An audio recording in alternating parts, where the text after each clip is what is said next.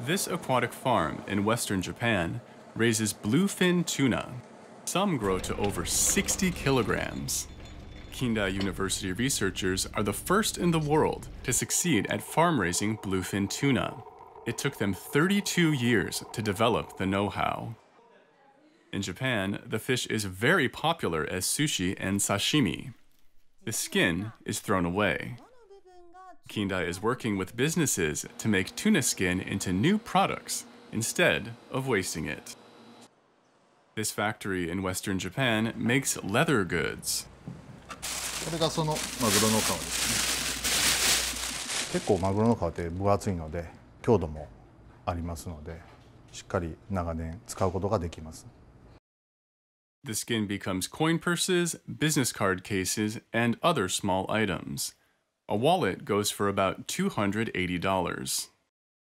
Turning fish skin into leather is a multi step process. Craftsmen scrape off scales and fat by hand, along with that fishy smell. A special liquid removes any remaining fat.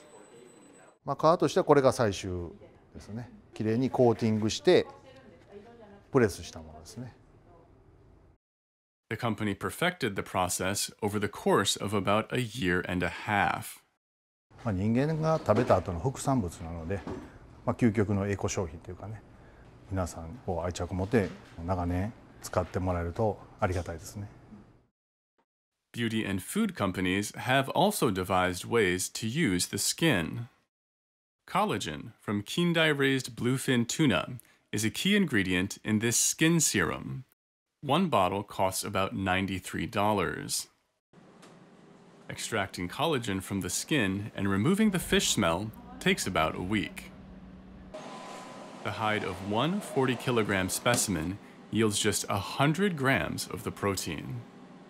いい保湿能力のある成分でありそのイメージとして匂いがあるっていうところが解決されているっていうこのメリットっていうのはかなり大きいかなと。 Kindai University also partnered with sweets maker UHA Mikakuto. The company uses collagen to make blueberry flavored gummies, shaped like tuna eyes. One pack sells for about $1.50.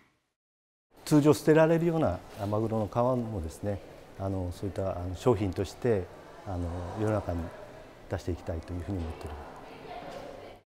Japan consumes more than 60 kilograms of Kindai bluefin tuna every day. There's plenty of skin left over that can be used in creative and profitable ways.